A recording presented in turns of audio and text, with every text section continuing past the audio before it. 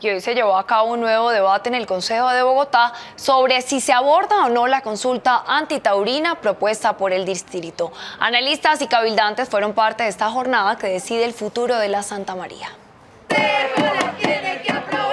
El Consejo de Bogotá continúa el debate con el tema jurídico de la consulta popular antitaurina propuesta por el distrito, basado en las conclusiones recolectadas el pasado viernes, que se llevó a cabo en la Cámara de Comercio al norte de la ciudad. Importantes. Primero, que agradecemos la participación de los ciudadanos. Segunda, que el Consejo sí es apto para tomar la decisión.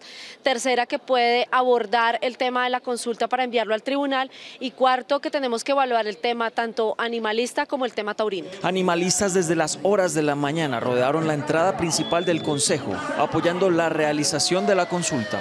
El respeto hacia los animales es una tendencia mundial.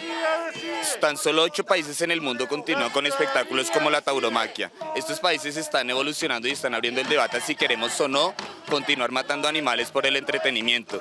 Y hoy es el turno de Bogotá. Nosotros consideramos que es importante, la democracia tiene unos mecanismos de participación. Aquí hay una iniciativa ciudadana, lo que queremos es que se le pregunte a los ciudadanos y ciudadanas de Bogotá si se quiere o no que se hagan corridas de toros en Bogotá. Se espera que mañana se conozca el veredicto final por parte del Consejo de Bogotá para luego llevar el tema al Tribunal Administrativo de Cundinamarca. Avanzaremos con las, con las intervenciones de algunos concejales de bancadas y el día de mañana más tardar estaremos dándole un resultado a los bogotanos y a los colombianos sobre este tema.